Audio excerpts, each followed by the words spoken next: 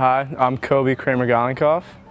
My school, I'm in the business school, uh, the Freeman School of Business, uh, from Philadelphia, Pennsylvania, and I'm on the Tulane men's tennis team. Perfect. Stop making fun of me! Sorry, I get bullied. Uh, I came to Tulane uh, because it's the full package. Um, coming down here, uh, there's such a rich, vibrant culture. Um, I was definitely drawn to the city of New Orleans.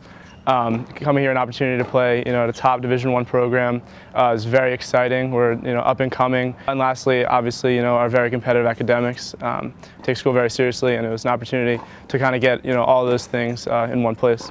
Um, what I like most about New Orleans is everyone who's in New Orleans wants to be in New Orleans. Um, the city is, you know, full of people with so much life. Um, you know, like I said, such a rich culture here.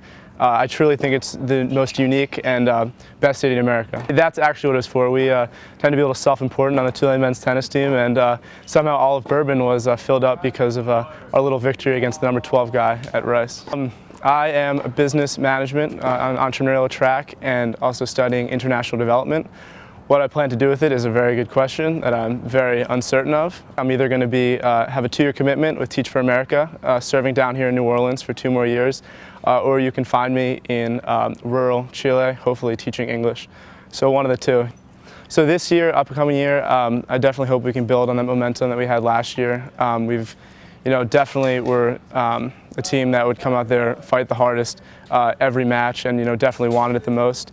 Uh, now we've got three uh, young freshmen. Hopefully, uh, you know, bringing this young talent, we can um, surpass that ranking. Hopefully, uh, win conference um, and make a good showing in the NCAAs. Really want to be remembered um, as a leader on the team, um, someone who came out, comes out, works hard, gives it my all every day, um, serve as a positive role model for the younger guys, um, and help you know lead a way for the team to uh, achieve big things this season and uh, you know definitely in the past as well. Uh, as a student, you know, uh, I definitely want to, um, you know, finish uh, with you know an honors uh, in a good degree and uh, move on uh, to bigger things. Uh, definitely get involved maybe in some nonprofit work in the immediate future, and uh, hopefully there will be some profit to come in the future after that. But we'll see. I enjoy long walks on the beach, movies with happy endings, uh, and watching the sunset um, on McAlister Drive.